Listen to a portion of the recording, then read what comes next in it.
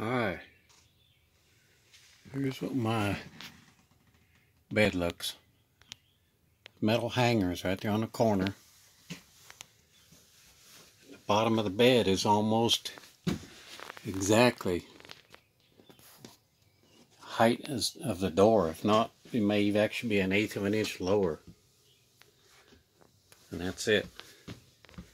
So, you see where these are? Whenever you pull that thing down, you're going to pull it away from them. And here's the back side. And this bracket, if you think of it as a hook, other than it's a wide hook, because look, it's just up in there about a, well, maybe a quarter inch. Push up on the bottom of the bed and you pull this wooden board which is the board you see on this side you pull it back toward you or if you're standing on the side of it we just happen to have a curtain rod my wife fixed up to keep it dark there when we're somewhere. A lot of heat stays in here. Alright.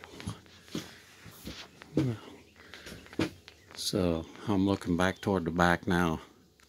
Anyway you push up right there you pull that board? This way to the back toward the back of the camper. And it comes out from under that thing.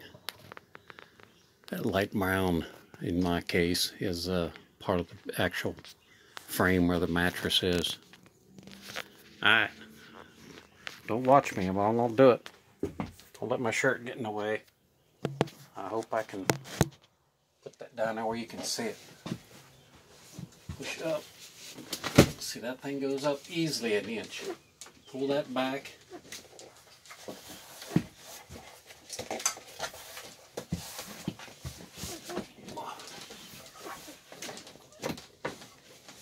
Just swing it down. Look, swinging down, swinging down. And so, look, when it swings down,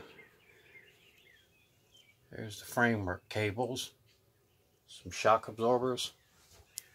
Once you swing it all the way down, it pulls it away. It don't go toward the cabinets. It pulls away from them cabinets up there. Grab this handle and pull this down.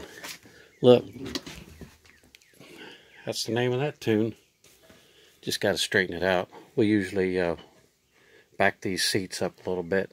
So you can see there where it's sitting on the back of the chair. So there's cables that holds the weight of the person sleeping and all. The frame is tight up against the ceiling.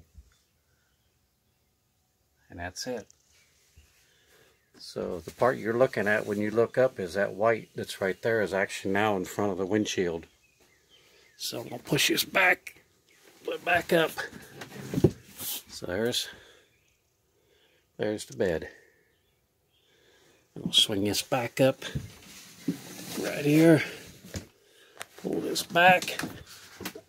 Uh, when you pull it back, right there, it's sitting now. That wide white thing is like a J-hook.